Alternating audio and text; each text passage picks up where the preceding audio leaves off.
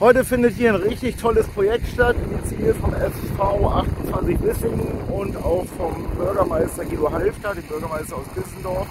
Und wir von der GOG Umweltschutz und Lebenshilfe sind froh, auch dabei zu sein. Was heute hier passiert, ist, ist genial. Es sind über 30 Leute dabei, die ehrenamtlich aktiv sind. Ähm, es wird eine Trockensteinmauer gebaut und eine Blühwiese geschaffen. Es sind Teilnehmer hier von der Bissendorfer SPD, von der UWB und von der CDU. Und ähm, es wird einfach mal gezeigt, wenn viele Leute richtig was machen und mit anpacken, dann kann in ganz kurzer Zeit ein hoher Nutzen für die Artenvielfalt entstehen und natürlich auch für die Klimapolitik. So was wir heute hier, das macht richtig Spaß.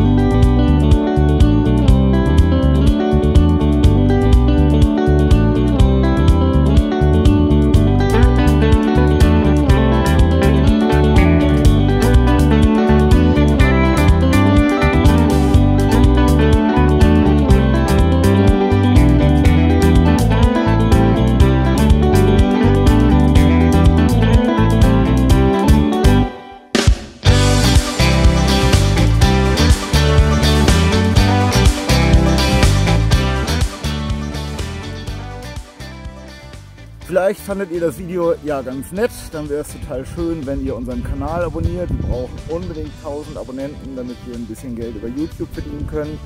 Vielleicht schaut ihr euch das nächste Video an, vielleicht setzt ihr ein Like unter das Video oder schreibt einen kleinen Kommentar. Denn unsere Tiere und wir, wir wollen YouTube-Stars werden.